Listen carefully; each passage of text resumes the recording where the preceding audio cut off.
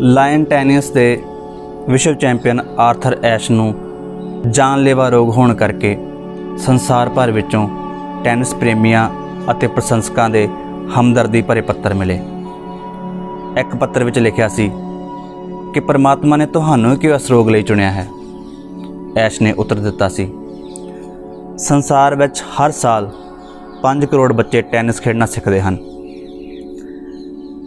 50 ਲੱਖ ਸਿੱਖਦੇ ਰਹਿੰਦੇ ਹਨ 50000 ਚੰਗੇ ਖਿਡਾਰੀ ਬਣ ਜਾਂਦੇ ਹਨ 5000 ਮੁਕਾਬਲੇ ਦੇ ਪੱਧਰ ਤੱਕ ਖੇਡਦੇ ਹਨ ਅਤੇ ਮੁਕਾਬਲਿਆਂ ਵਿੱਚ ਭਾਗ ਲੈਂਦੇ ਹਨ। ਇਹਨਾਂ ਵਿੱਚੋਂ 50 ਅੰਤਰਰਾਸ਼ਟਰੀ ਪੱਧਰ ਤੱਕ ਅਪੜਦੇ ਹਨ, ਜਿਨ੍ਹਾਂ ਵਿੱਚੋਂ 4 ਸੈਮੀਫਾਈਨਲ ਅਤੇ 2 ਫਾਈਨਲ ਮੁਕਾਬਲੇ ਵਿੱਚ ਖੇਡਦੇ ਹਨ ਅਤੇ ਇੱਕ ਵਿਸ਼ਵ ਚੈਂਪੀਅਨ ਬਣਦਾ ਹੈ। ਜਦੋਂ ਮੈਂ ਵਿਸ਼ਵ ਚੈਂਪੀਅਨ ਬਣਿਆ ਸਾਂ, ਤਾਂ ਮੈਂ ਰੱਬ ਨੂੰ ਨਹੀਂ ਸੀ ਪੁੱਛਿਆ ਕਿ ਵਿਸ਼ਵ ਚੈਂਪੀਅਨ ਲਈ ਮੈਂ ਹੀ ਕਿਉਂ ਚੁਣਿਆ ਗਿਆ ਹਾਂ। ਤੇ ਹੁਣ ਮੈਂ ਪ੍ਰਮਾਤਮਾ ਨੂੰ ਕਿਉਂ ਪੁੱਛਾਂ ਕਿ ਇਸ ਰੋਗ ਲਈ ਮੈਨੂੰ ਹੀ ਕਿਉਂ ਚੁਣਿਆ ਗਿਆ ਹੈ?